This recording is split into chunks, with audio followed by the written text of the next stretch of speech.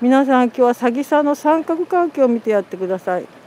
えここにいるんですけどなんとこっちに誰はな何詐欺っていうかわかんない。白いの。いるでしょ？